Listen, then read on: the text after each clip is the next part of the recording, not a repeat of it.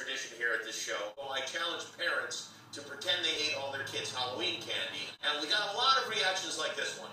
We ate all your Halloween candy.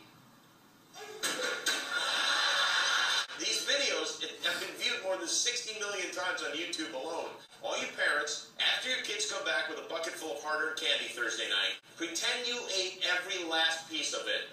Record your child's reaction and then upload the video to YouTube with the You know that big bear I have at work, Shreddy? He ate all your candy from Halloween. What? Oh, you see that shiny Where is it?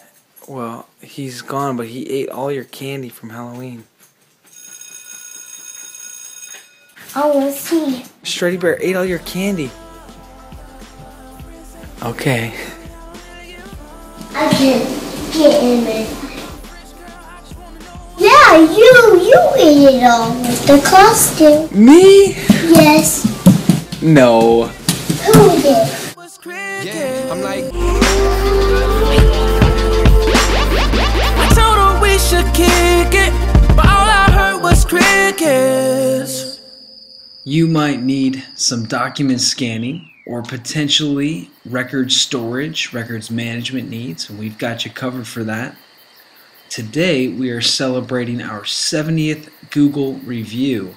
Of those 70 reviews, 65 have been perfect five star. We're so happy about that. Bruce, Karen, thank you so much for the latest ones.